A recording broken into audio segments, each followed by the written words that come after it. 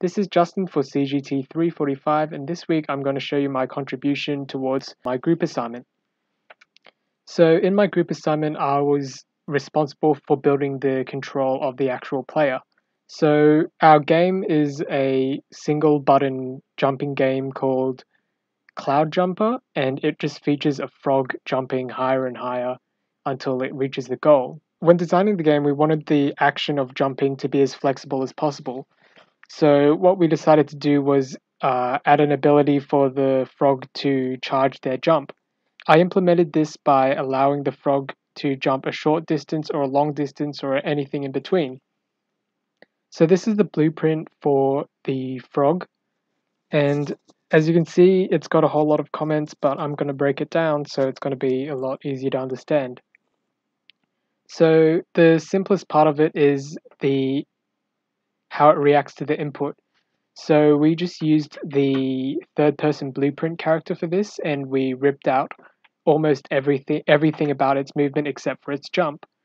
So the only thing we changed about this was add a boolean variable called is jump held down and we'd set that to be true or false based on if the key is being pressed or not.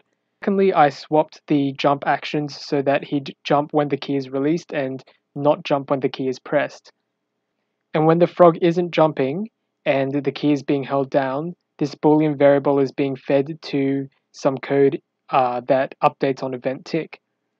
So every event tick, I have created a counter called jump counter. What that does is it checks that the key is being held or not. If it is, then it increments the jump counter and if it's not, then it resets the jump counter to zero. So there was one weird thing about delta seconds, and it didn't, and it was that it didn't really react how we were expecting it to. So uh, I decided to scale it a little by dividing it by ten, but I would have expected it to divide by a thousand, considering it's in milliseconds. But um, we never really got this to work as expected. Here you can see the constants for the code that will be shown next. So there's a max jump height, a max hold time, a min jump height, and a min hold time.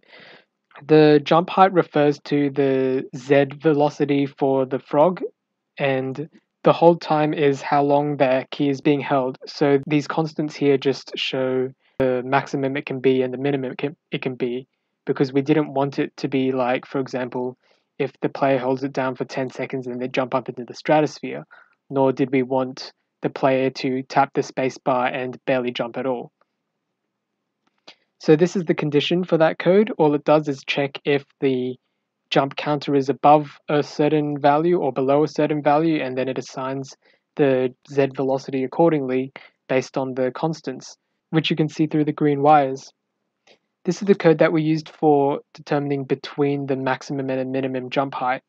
Um, it didn't work as well as we expected, but it does it does approximate it well enough. But given more time, I'd have liked to perfect this. So first what it does, it uses the current jump counter to create a fraction with the maximum hold time. Now remember that if it's over the maximum hold time or the minimum hold time, it would go to a different condition. The only value that can go in here would be the legal values. Next, I subtracted it by a small value just to make sure that holding it to the max and holding it to just before the max would have a bit more of a difference. And then I multiplied this fraction by maximum jump. So it should have the effect of proper fraction of the maximum jump that is possible. And then finally it gets fed to the jump z velocity uh, variable of the third person character. Next, so here's the here's the quote unquote animation controller for uh, the frog and all that does is checks uh, checks if the character is falling or not. Now, I don't know if this is completely accurate because uh, I couldn't find the actual is grounded variable for this third person character. And because of this, the animations don't work exactly as you want them to, but they are still very passable. All this does is set the animation to a stay position if the character is not falling and set it to a jumping animation if the character is jumping. Now, the problem that I mentioned earlier is that when he falls back down, this, the sprite doesn't change from the jumping to the falling sprite. So this was the first time I'd used flipbooks. So the flipbooks are literally just a single frame flipbook with a sprite that I drew really quickly on paint.net. The one shown is the stay sprite, and as you can see, it shows the frog priming a jump.